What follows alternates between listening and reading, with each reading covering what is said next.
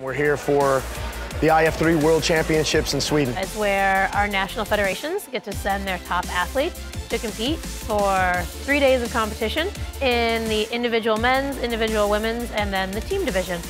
People ask me about like why do I support this and why am I trying to help get in the Olympics. You have to have some structure from the local level all the way up to Olympic level.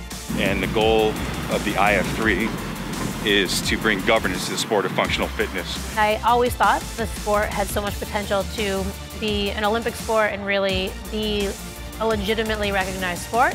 It's an honor to represent your country and win a world championship title for your country.